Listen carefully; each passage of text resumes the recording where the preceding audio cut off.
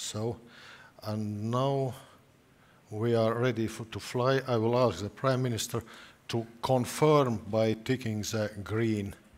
Uh, Yeah. okay. Okay. Okay. I just did something. Yeah, Okay, I'm sorry. I have to go now. yeah. It's no, you see, the drone in live is flying. It went up and uh, it's flying across the predefined line.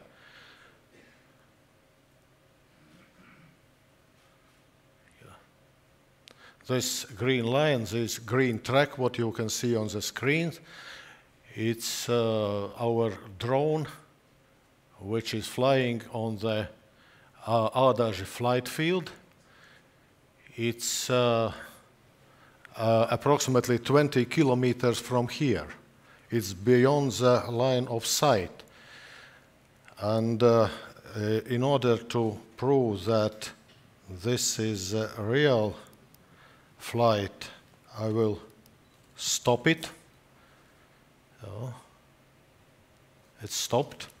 And now the ground staff will uh, stare a little bit with camera. You can see camera is showing what happens around the environment.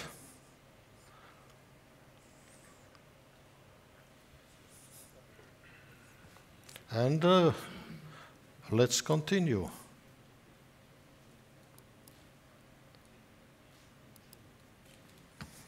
Let's continue. And the drone is continuing to fly. And in fact, it's not a toy.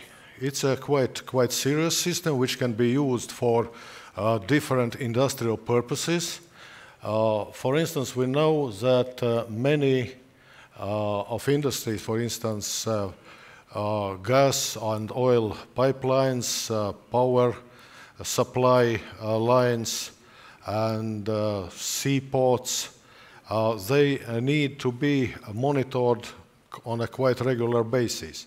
And therefore, uh, what we can do with the presetting, presetting of the track, we can send the drones for these ins inspection flights, and therefore it's significantly cheaper and uh, more effective.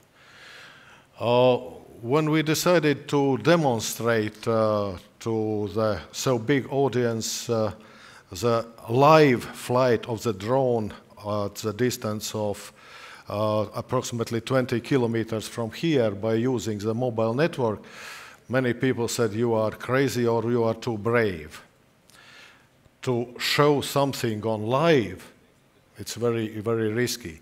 However, uh, mobile operators are used to be in uh, risky situations because our networks are live all the time. So thank you very much for your attention, and I wish a very fruitful and productive and cooperative uh, meeting and forum today. Thank you.